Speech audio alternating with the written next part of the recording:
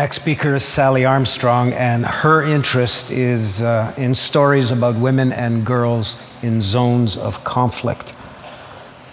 Bosnia, Somalia, Rwanda, Afghanistan, she's been there. She says, I love stories that not only involve me emotionally, but stories that move you to act. Sally? How are you? Thank you. Well, good morning, everybody. It's marvelous to be here. And I have an idea for you. It is about women, women who live in countries all over the world, but mostly in zones of conflict. Something is happening. There's a change out there. Remember the peace movement and the women's movement and the gay rights movement and the black rights movement? Well, what I see happening out there now is kind of like Pete Seeger and Doris Anderson and Harvey Milk and Martin Luther King all rolled into one. It has to do with women. And I believe the earth is moving, and it's a seismic move, and it's all about change. And I believe that change is being directed by women and it's only just starting.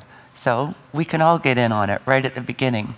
As Moses said, I'm a journalist, I work in zones of conflict, and my beat is to find out what happens to women and girls in those pretty dangerous places. As he mentioned, I spent an awful lot of time in Afghanistan, but I'm just back from Swaziland, and before that, Nairobi, and, and before that, Congo.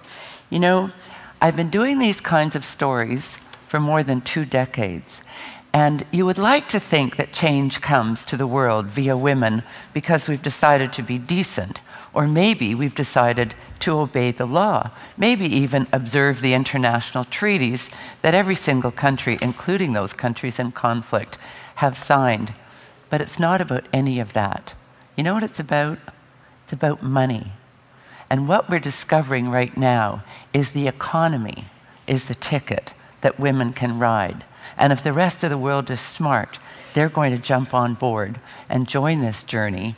And it's going to be women and the economy that lead places that are in trouble out of their conflict. Places like Afghanistan, the Middle East, and Africa. Now, you may think that's a bit of a reach, but as I said, my beat is to go there and to tell their stories. And for these last more than two decades, while I told the stories, I saw change happening. But in the last year, the change is extraordinary. And the examples being given to us are indisputable. For example, in Congo right now, I was there in December on assignment. It's unbelievable to me we're not talking more about Congo. Five million people dead. Those are World War II numbers. Nobody's talking about it. 200,000 women gang raped. Nobody's talking about it. And the atrocities, it may be too early in the morning to, to describe them to you, but take my word for it. This is a loss of civility. This is like the Lord of the Flies going on. But the point I want to make to you about the economy is that food production in Congo has dropped by 70%. Imagine, this is a country with soil so rich you could kick a seed into the ground and have a crop by the weekend. But, the, the but the food production has dropped. Why? Because the women are the planters. And the women have been so sexually assaulted, gang raped, re raped, mass raped, raped with broken beer bottles, breasts slashed off with machetes, honest to God, that they're too afraid to go to the fields to plant or simply unable. So food production dropped. So the World Food Program had to come in with food for 70% of the country. Who do you think's paying for that? You are. We all are. So suddenly, the treatment of women has to do with the worldwide economy. You know, the World Bank has been doing studies every five years since 1985 to show if you treat the women in the village fairly, the economy will turn around. But you know what? Nobody really listened. They talked about it in, in fancy conferences, but it didn't change the facts on the ground. But now, uber economists like Jeffrey Sachs, you know, the World Millennium Goals guy, he is now saying, wherever he goes, that the status of women and the economy are directly linked one to the other. So where one is flourishing, so is the other. Where one's in the tank, so is the other. Now, I dare say a grade 10 student in Toronto could have already told you that. But once you get people like Jeffrey Sachs saying it, it certainly alters the rhetoric. I bet you nobody ever suggested to you that your safety or even your wallet was linked to the status of women. I believe it is. But I guess the thing that astonishes me is that it's taken so long for us to come to this point. Why did we, did, did we not see the atrocities, the violence, the issues around women as something that affected the whole world, the health of the world, the economy of the world. I want to tell you a story about how I got involved in, in focusing my career on those things. It was in 1992. I was in Sarajevo doing a story on the effect of war on children. That was my story. It was the day before I was to leave Sarajevo, and you know, you never knew if you were leaving. For those of you who remembered reading it in those days, we used to call it maybe airlines. Maybe you'd leave, maybe you wouldn't. It depended on whether or not they were rocketing the airport. But I was leaving the next morning, I hoped, and I started to hear rumors about rape camps and that they were rounding up the women of the enemy and, and raping them in these camps. And you know, journalists learn early on one of the first casualties of war is the truth. And when I first heard that, remember this is before Congo, before Rwanda, I thought, surely to God, this is one of the casualties of war. Surely this can't be happening. But all day I kept hearing it from more and more credible sources. And by the end of the day, I thought, this is happening. This horrible crime is actually happening. Now, I work for magazines usually. I, had a piece in the Globe last Saturday in the focus section, but normally I work for magazines. I can rush a story to press in about three months. So this was a news story. And I decided I would get everything I could and I would take it with me back to Canada the next day and give it to a news agency. So I gathered names, mobile phone numbers, anecdotes, everything I could. And when I came home, I went directly from the airport to a news agency, I won't say which one because I believe it would have happened at anyone, and I handed over the data. I said, Give this to one of your reporters. This is an extraordinary story. And I went home and waited for the headline. Nothing. Two days, three days, a week, nothing. Seven weeks later, there was a four line blurb in Newsweek magazine. I phoned the guy I gave the data to. And he nervously began laughing when he heard my voice. He said, Oh, Sally, I knew you'd be calling me today. I saw that four line blurb in Newsweek magazine. I said, What happened? He said, Well, it was a great story. I mean, I was really grateful you brought us the story, and I was going to assign it, you know. But, you know, I put it up on the shelf, and, you know, I got busy, and, you know, I got on deadline, and, you know, I forgot. I said to him, 20,000 women were gang raped eight and 10 times a day, some of them eight years old, some of them 80 years old, and you forgot? Well, you know, he said. And that day, I decided I was going to make these stories my focus. In fact, I went back to my team, and the, that time as the editor in chief of Homemakers Magazine, my editor said, Why don't we do it? I said, Well, it's going to take us three months, for heaven's sakes. I was on a plane two days later, got the story, we published it. I'm embarrassed to say I won every award on the planet for that story, but I'm not surprised that Homemakers Magazine was the first one to break the story of the gang raping of women in the Balkans. It was a huge lesson to me, and as I said, that's when I decided I was going to make a difference through telling women's stories. You know, there's this bizarre duality in much of the world that women are, on the one hand, are these fragile creatures that need to be protected. And on the other hand, they're evil Jezebels that society needs to be protected from. And the reason for that stupid kind of thinking is that we allow people to say things that we know are wrong, but we dare not dispute. Look at the Taliban. Here's a gang of thugs who hijacked their own religion for political opportunism. They claimed they were acting in the name of God. There's not one word in the Quran to support what they did. There's no place in the Quran that says a woman can't go to work or a girl can't go to school or even that you have to cover your face. But they got away with it because the rest of the world was too afraid to speak up. You see, when someone says to you, You don't come from here, you're not part of our religion, you're not part of our culture, it's none of your business. Well, we tend to back off. And you know, it is our business. What was happening to the women of Afghanistan was not cultural, it was criminal. And it was high time, in my opinion, that somebody spoke up about this. You know, let me give you an example. The, the first time I was there, a young woman had been married.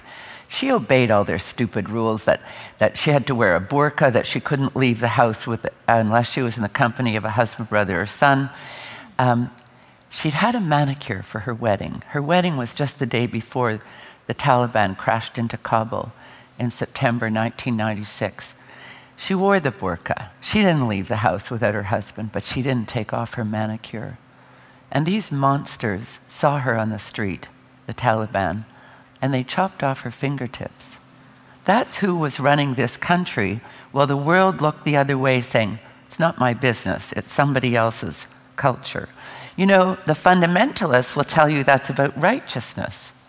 But women the world over know that the misogynist acts used against them in the name of culture, in the name of religion, are not cultural or religious at all. They're misogynist. And yet, we never seem to speak enough about that. Now, women's groups are forming in certainly all the countries where I'm covering conflict. And they're the ones who are making change. In Congo, can you believe it? These women are hiding in the forest.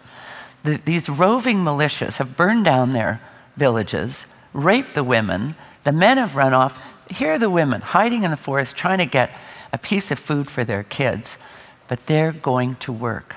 And they're the only ones that can change it. Only the women who live in the place can make the change. We can help, we can send money, we can advise, but it's only the people on the ground who can change. So in Congo, they've got signs all over the place in the forest, for heaven's sakes. Silence is violence. You see, there's a taboo about speaking of these things. And if you can't talk about it, you can't change it. Look what happened in Afghanistan. Remember when President Karzai signed the Shia family law last year? All of a sudden, the world did respond. And they said, We can't support you if you're going to support this. But more than that, it was the women of Afghanistan who took it on. They marched. That wouldn't have happened a year ago. They demanded a meeting with Karzai and got it.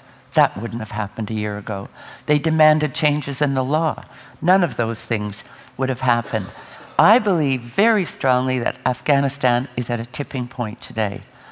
The, the, changes are going to start to roll out.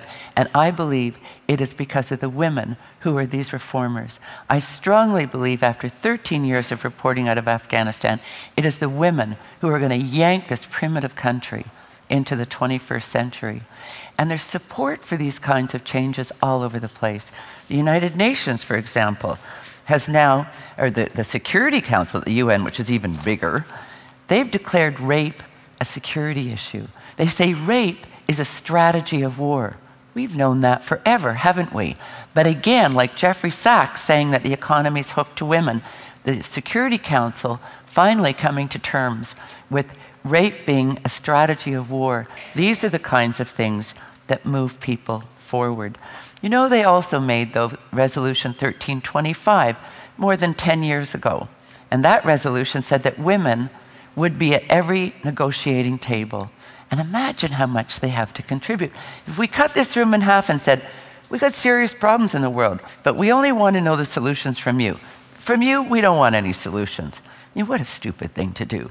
And that's what we've been doing for all these many, many years. You know, I've just been appointed to a, an organization called the International Women's Commission. And it's 20 Palestinian women, 20 Israeli women, 10 international women. Our mandate is the Middle East. And I thought, it really is coming together when finally a terrible problem that no one's been able to solve is now put into the hands of women.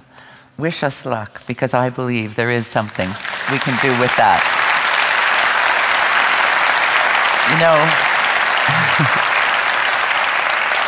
I, I want to give you other examples of these changes that are going on in the world.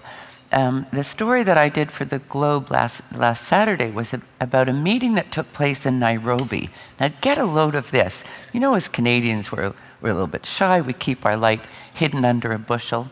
Well, eight Canadian women human rights lawyers got together with eight African women human rights lawyers to find out why human rights for African women or the status of women in Africa hasn't budged in the last three decades. Well, it's basically become the new panacea every place else. They figured out why. And then they said, well, you know what? We don't have any time to spare. We, we don't want to reinvent the wheel. We're going to use the method the Canadian women used in the early 80s. Some of you might remember the way Canadian women did this was they reformed the law. They changed the law, they educated the judiciary, and then they increased awareness among the public. And that's what these African women human rights lawyers have decided to do. And they started with three countries Kenya, Malawi, and Ghana with a program called Three to Be Free. Three years using those three strategies to alter the status of women in three countries. I believe they'll do it. I believe the world is ripe for this kind of a change. And I'm just back from Swaziland, where I was covering the March of the Grandmothers. Perhaps you heard about it.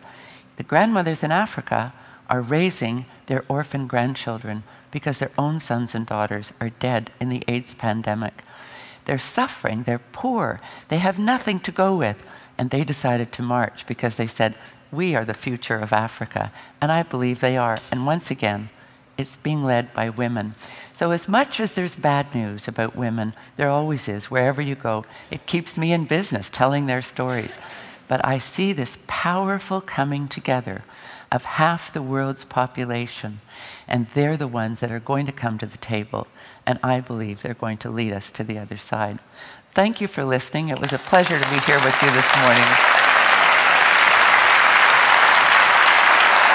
Thank you.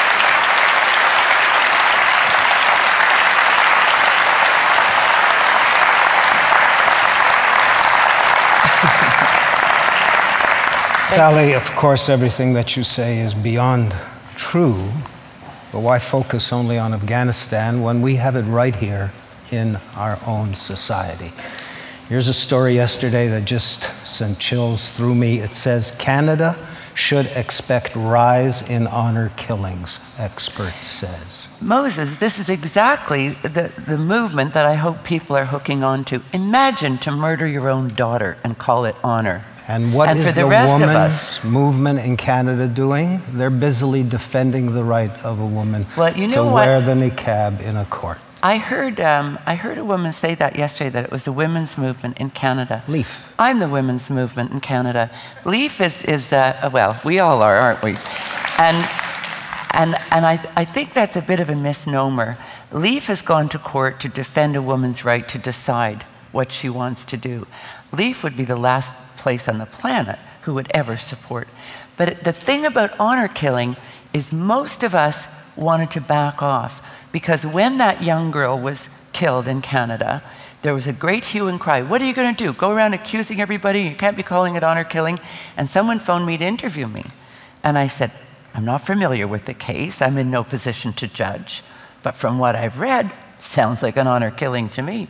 I think we have to begin calling things for the way we see them. We are against honor killing. End of story. Here, here. How many know how many of those have already occurred in Canada? Let me hear it. A dozen? This year? In any case. And those are only the ones you know about. That's right. That's right. Thank, Thank you, you. Sally.